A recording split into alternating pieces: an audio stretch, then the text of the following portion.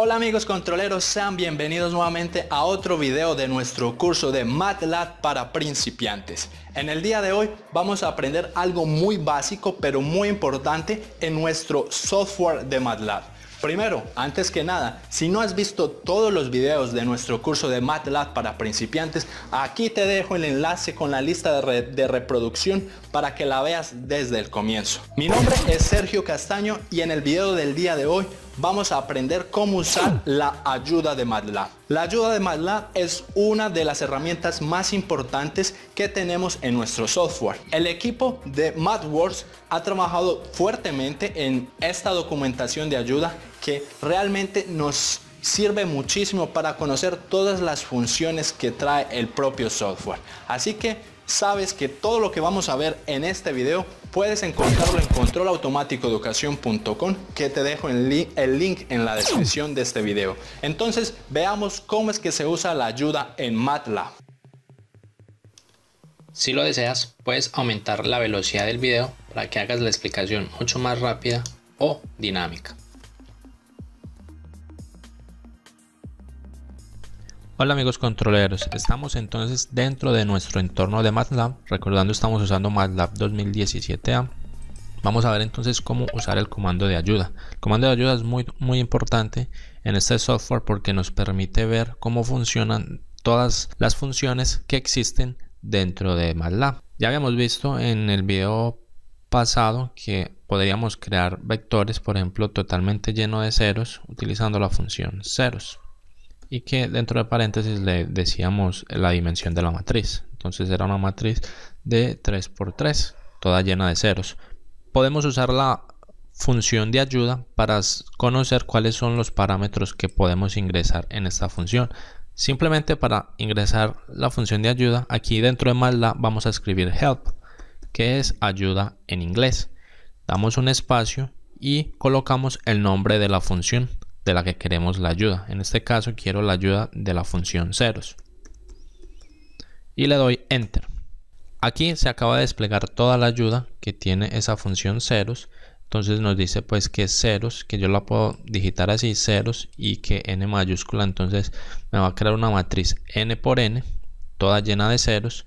Me dice que si digito, si la digito con esta sintaxis m, n, entonces me o m o así, ¿cierto?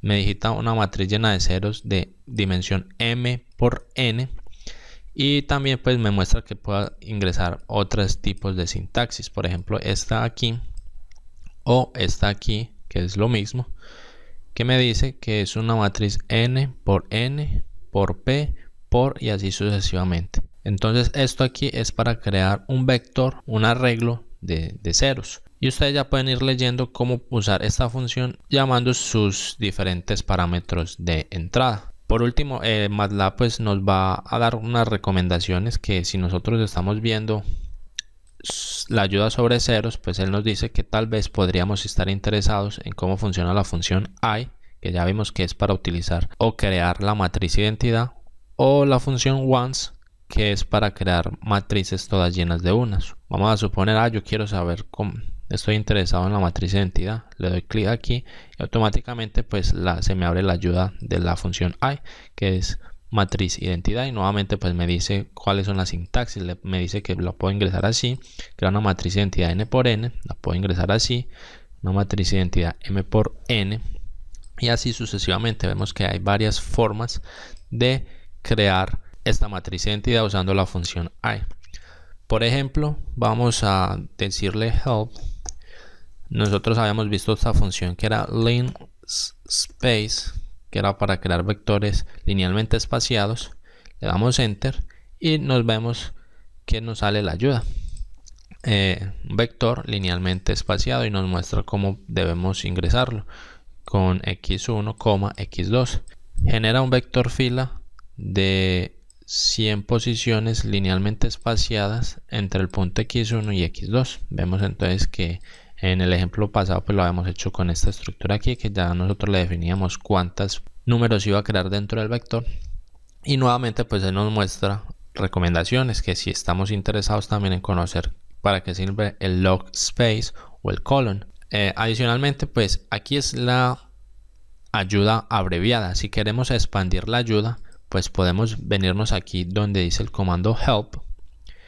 Eso ya lo vamos a ver enseguida. O aquí mismo decirle que me muestre la página de referencia para Space que aquí ya me muestra toda la información completa de Space Aquí se abre entonces el documento de MATLAB nos dice entonces que la función space genera un vector linealmente espaciado, nos muestra la sintaxis, cómo debemos escribirla, nos muestra la descripción, aquí ya está mucho más limpio, mucho más ordenado. Incluso la ayuda de MATLAB nos muestra ejemplos, aquí vemos varios ejemplos.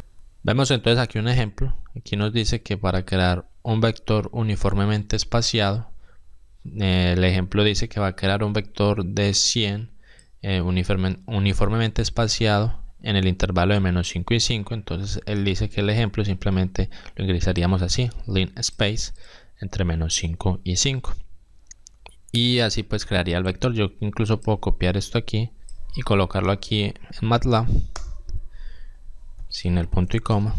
Y aquí vemos eh, los 100 valores uniformemente espaciados entre menos 5 y 5 entonces vemos que cada función pues tendrá sus ejemplos. Aquí nos explica en detalle cuáles son los argumentos de entrada. Y nuevamente pues al final nos muestra recomendaciones de otras funciones que podríamos ver. Aquí estamos entonces en la documentación de MATLAB que ya vimos que podíamos acceder a ella a través de el help. Veamos aquí referencia, pero también lo podemos hacer aquí en la pestaña en home, aquí donde dice help. Simplemente le damos documentación o escribimos F1 y aquí pues se nos va a abrir toda la documentación del software aquí podemos encontrar información sobre todos los toolbooks que tiene MATLAB vamos a suponer por ejemplo que yo quiero saber funciones que están dentro de MATLAB incluso aquí me muestra hasta cursos como empezar en MATLAB desde cero que él también enseña Learn the Basics of MATLAB aprende lo básico de MATLAB en este caso pues están aquí todas las opciones o aquí en, este menú Vamos a suponer que yo quiero saber sobre funciones matemáticas. Le doy aquí en matemáticas. Aquí me muestra varias opciones matemáticas que tiene MATLAB. Le voy a decir que quiero matemáticas elementales. Le doy aquí. Me sigue abriendo. Me dice que si aritmética, trigonometría, exponentes, logaritmos, números, números complejos. Vamos a decirle que quiero, no sé, trigonometría. Entonces aquí me salen todas las funciones trigonométricas los senos, los cosenos, las tangentes. Entonces hay varias funciones y vamos a suponer que yo estoy interesado en las tangentes. Vemos que hay varios tipos de funciones de tangentes para calcular exactamente la tangente. Aquí vemos una breve descripción. Por ejemplo, A tan me calcula la tangente inversa en radianes y A tan D, que termina en D, me calcula la tangente inversa pero en grados. Vamos a suponer que yo quiero A tan D le doy clic ahí y nuevamente pues vemos aquí que se abrió la, sintaxis me muestra entonces cómo debo llamar la tangente inversa en grados eso es lo que está haciendo aquí tangente inversa en grados de x que la descripción pues me indica qué es lo que hace esa función nuevamente podemos ver ejemplos como crear por ejemplo la tangente inversa de un vector entonces vemos que aquí en x crearon un vector con estos números y simplemente eh, calcularon la tangente inversa de cada uno de esos números y aquí sería entonces el resultado de esa operación. Ustedes nuevamente pueden copiar todo este código y pegarlo ahí en MATLAB. Entonces ya saben que aquí en MATLAB está toda la documentación. La ayuda de MATLAB va a ser nuestra mejor amiga en este software siempre que no sepamos cómo funciona una función o no sepamos cuáles son los argumentos de entrada y salida. Lo mejor es venirnos aquí para la documentación o simplemente escribir help y el nombre de la función para saber cómo se utiliza. Listo amigos, eso es todo por el video del día de hoy. Espero les haya gustado, espero hayan entendido. Déjenme en los comentarios qué les ha parecido estos cursos de MATLAB, qué quiere que veamos en este curso. Si les quedó claro cómo utilizar la ayuda, ya van a ver que a lo largo que ustedes vayan evolucionando en este software de MATLAB, van a ver que la van a usar mucho porque realmente es una ayuda muy buena y nos vamos a apoyar mucho en ella. Suscríbanse al canal, denle me gusta si le gustó, denle no me gusta si no le gustó y nos vemos en el siguiente video. Puedes seguirme en mis redes sociales, suscríbete a mi canal dando clic en mi foto y activando la campana de notificaciones y no te olvides de ver el siguiente video.